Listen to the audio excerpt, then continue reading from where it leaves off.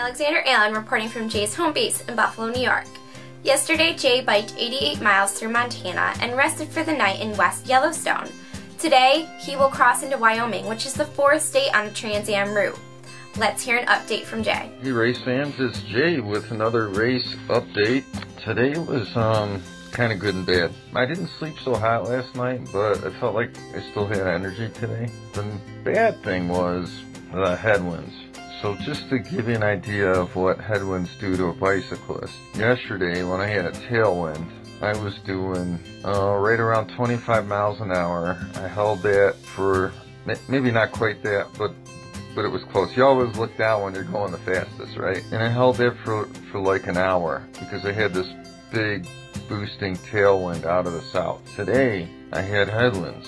They weren't, well, they were strong and they were gusty. They, they knocked my forward advancement back. You know, at points I was doing only 8 miles an hour, 12 miles an hour. I was moving okay, but it just took it out of me. And the wind here in this area where you have all these jutting mountains and these canyons, it's buffeting. So it's not just like you're pushing into the wind, pushing you left and then right, and so you're you're constantly back and forth on your your saddle, moving your hips, trying to keep the the bike, you know, perpendicular to the road. It's complicated by traffic. It was an exhausting day, and today was not a lot of mileage wasn't planned a lot of mileage. I talked with a local expert. Um, he said you want to get to uh, West Yellowstone and try and make it through the park in one day. Weather does not look great.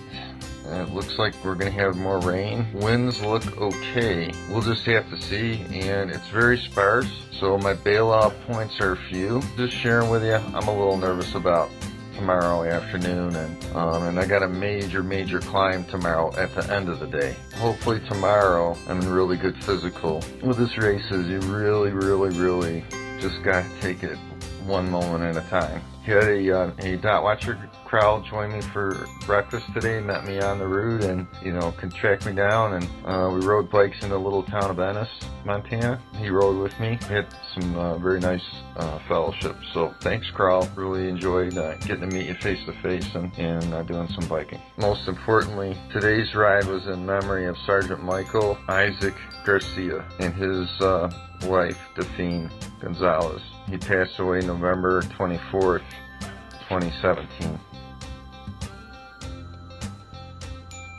Oh, I, I, do have a special request. This is kind of scary, and, uh, and uh, I'm, I'm, trying to share everything that is going through my head, the negative stuff, not to complain, but just so you can kind of experience the race uh, through me, if you will. We've had two people hit recently, uh, one today, and um, he got hit pretty bad. And he's a great guy, and he's been um, a great uh, promoter of the race and just a great guy and I, I believe he's been in the race several times and he's all busted up but he should live with broken ribs, punctured lung, via some other broken bones and internal injuries. then we also had another racer get hit and dragged. That individual also made it and looks like that they're going to be okay.